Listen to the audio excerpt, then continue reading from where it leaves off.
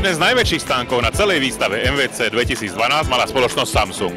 Jej stánku dominujú dva produkty. Prvý je Galaxy Note vo veľkosti 10,1 a druhý Galaxy Tab druhej generácie takisto vo veľkosti 10,1. Nech sa páči, poďme sa spolu pozrieť, čo tieto produkty ponúkajú. Hlavná pozornosť je v tomto prípade venovaná novému Galaxy Note 10,1. To znamená 5,3 už je málo. Teraz je to e, rozmer uhlopriečky je až 10 palcov. Ako vidno, hlavná súčasť aj v tomto prípade je dotykové pero, to znamená, že aj ten displej je vyhotovený iným spôsobom a je možné takýmto spôsobom vytvárať kresby. Ako operačný systém je tam Android ICS, veľkosť je teda 10,1 palcu a je tam e, dvojjadrový procesor s frekvenciou 1,4 GHz.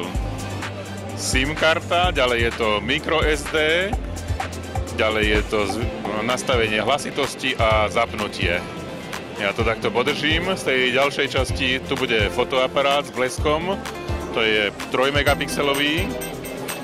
Je tam samozrejme podpora Wi-Fi aj s tým, že je to Wi-Fi Direct, to znamená, je možné z tohoto prístroja jednoducho preniesť obraz. Toto je kvalita zobrazenia na displeji a takisto je tu aj predná kamera, takže je možné realizovať videohovory.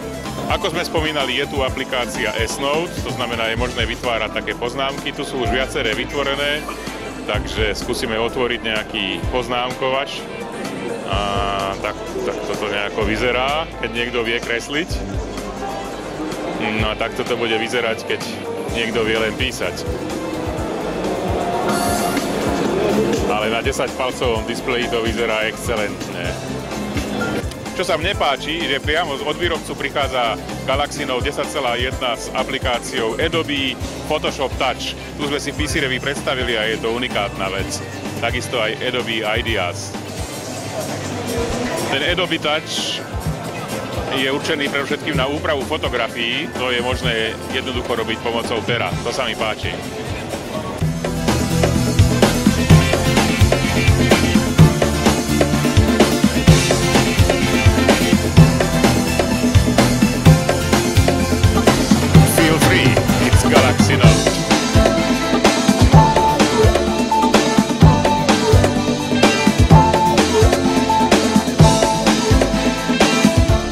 Galaxy Tab druhá generácia, ale vo veľkosti 10,1. Ten ponúka samozrejme aj screen sandwich, má zlepšené prezeranie webu, takisto aj zvýšenú bezpečnosť dát. The main differences are the micro SD card, now you can put that in, so you can extend your memory. Also the speakers are now facing upwards, so you have a better sound quality. And also the software, now it's running on the latest software version of Android, which is Ice Cream Sandwich. Um, like if you're multitasking and you want to shut down programs, you can just do it like this. Swipe them away. Yeah. Also, your home screen has changed because you can now place them on different places. Yeah, you can also remove them. Yeah. The mini apps are a bit different. Let's say we got three mini apps right now and we want to have more. We can now edit them and put some more in. Mini apps are very useful when, let's say, we're browsing the website or we're buying things online. We can still open our uh, calculator.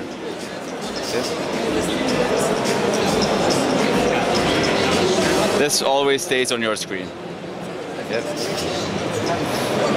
So the main differences are design, the micro SD card and the speakers and the software is the latest version Ice Cream Sandwich.